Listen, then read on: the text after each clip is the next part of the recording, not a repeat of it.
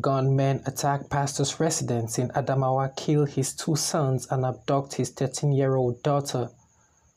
Gunmen attacked the residence of a pastor, Reverend Daniel Umaru, killed his two sons, and abducted his 13 year old daughter in Mubi, Adamawa State.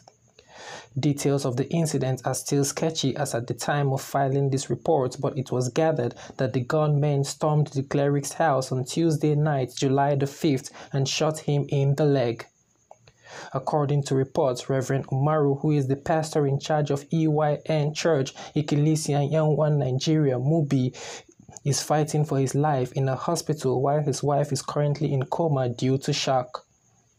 One evangelist Yusuf confirmed the incident via Facebook on Tuesday, July the 6th. I can't hold my tears anymore. I'm tired of this world.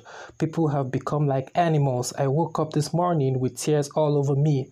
This young guys killed by unknown gunmen yesterday at Mubi and their father was shot in the leg. This wasn't enough as they kidnapped the only daughter to an unknown place.